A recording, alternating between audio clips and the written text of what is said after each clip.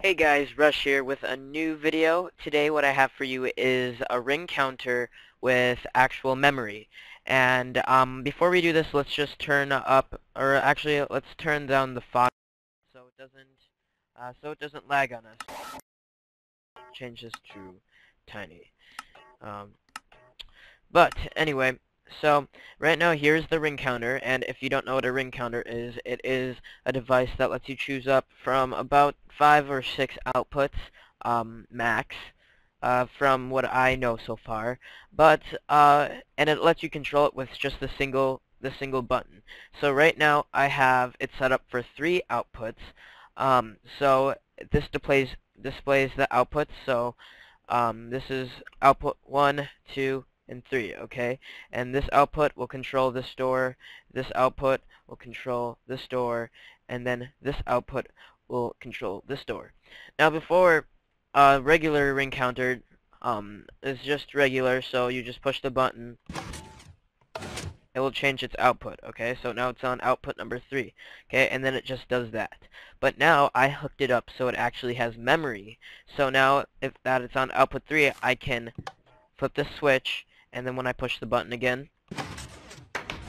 it will cause this door to open right here. And because this door opens right here, we can go to the other outputs, push the button again, open the other doors, and then push it like this. Okay, and then it opens up all the other doors, and it stores that information, so we can have all these doors open op um, at the same time, which is, I think is pretty cool. So this is uh, what we use to reset it. It's also an automatic update, so I have to flip all these switches again. And if you wanted, you can just have these all be buttons. And I have this door set up so it um, it just closes automatically, but um, I couldn't get these to to um, close automatically. But basically, you push the button, as you can see, it will change outputs and it will reset it all. So what that means is because this is also uh, automatic update for all of these, I can have like, let's just say, let's have this up, and then we'll have this, leave this off. Or actually, we'll do it like this. So what I'm basically saying right now is keep, open this door, keep this door closed, and open this door. Okay? So now if I click this, you can see the outputs will switch. And now this door is open, this door is closed, and this door's open. So let's just reset this all. So I'll flip all these levers again. And this may not seem like so much um, for you, uh, to you, but it's I think it's actually pretty cool because let's just say you had this in your house and you had a whole bunch of inputs, like you had five inputs, and you had it in your house, and you used it to set up like a smart home. So you can be like, hmm, okay, let's activate all the the um, let's activate the alarm and actually let's also activate um, or turn off the lights. And then while we're at it we'll start up the mob spawner. So or the mob farm. So or the automatic farm it doesn't really matter. So let's go here okay? And then we'll just do the automatic update. And now this will lead us to all the redstone wiring. So let's go down through here up through here. No, no, no, no, no, no, no, no.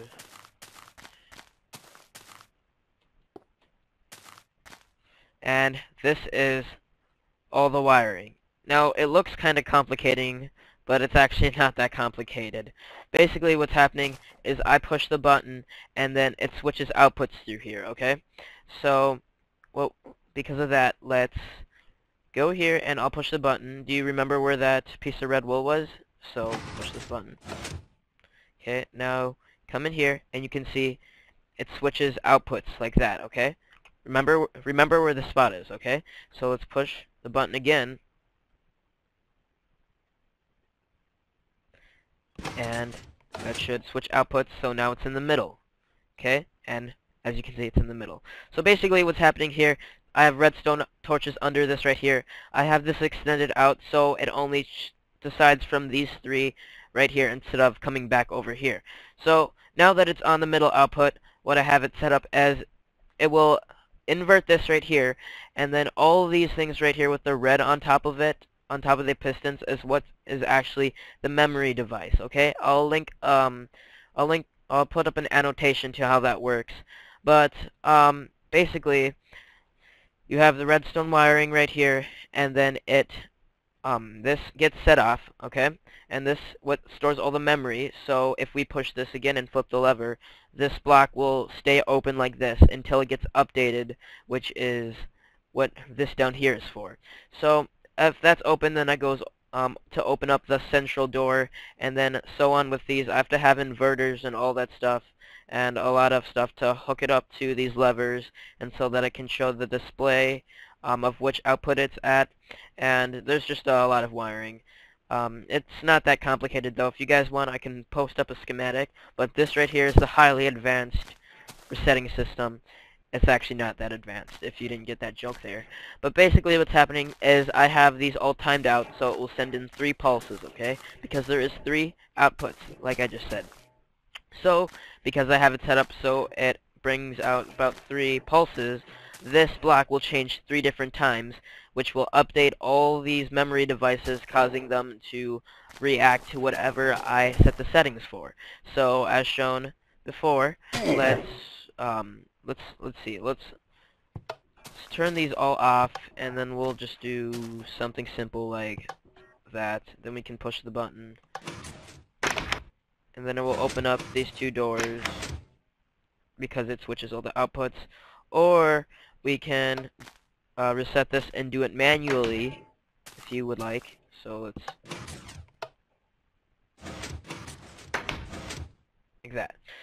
Okay, so if you want, you could just do it manually. So right now it's on output number one. So you click this.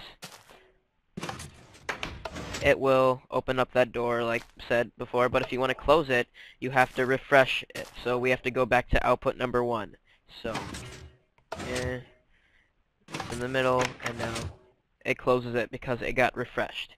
But I will make a video on what I use to actually make the memory so it will store the information um, of you pressing the lever. It's not that hard. It's very easy to do. And yeah, that's basically it. Um, so yeah, uh, that's my latest creation right now. Uh, what I'm planning on to do with this is to add a counter and maybe hook this up in a house. And basically what it will the counter will do is will be like um, I could automate it using the ring counter and the clock will be shown to see how many times someone steps on a pressure plate or something like that. But I'll see if I'm I can do that. So I hope you guys like this um, my ring counter here. Um, if you want I can post a schematic up and so you guys can take a better look at this so uh, be sure to check out my other videos. I got some motion sensors and some other cool things there that you can look at. I hope you guys enjoyed this video, and be sure to subscribe, and I'll see you guys later.